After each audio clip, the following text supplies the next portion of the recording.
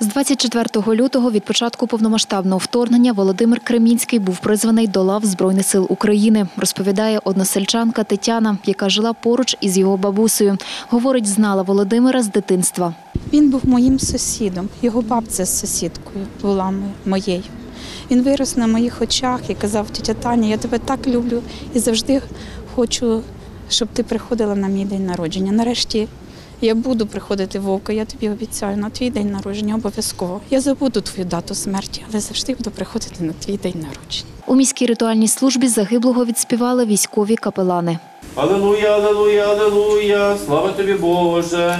Алелуя, алелуя, алелуя, слава тобі Боже. У загиблого військовослужбовця залишились мати, батько і сестра, каже Тетяна.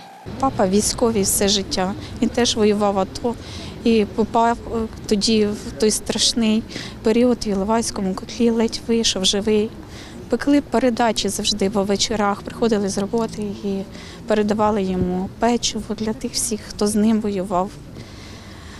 Ну, якось дуже близько біля цієї родини проходить моє життя. Вони дуже всі класні, світлі, Ані напасі біса полуденого, паде побіж тебе тисяча, десять тисяч праворуч тебе, до тебе ж не наблизиться, однак ти очима споглянеш, і відплату грішників побачиш, бо ти, Господи, уповання моє Всевишнього поклав ти, як прибіжище твоє, не прийде до тебе зло і рана не доторкнеться тіла твого. Поховали 28-річного Володимира Кремінського на Алеї Слави, що в мікрорайоні Ракове. Валерія Ковальчук, Іван Мовчан. Новини на Суспільному. Хмельницький.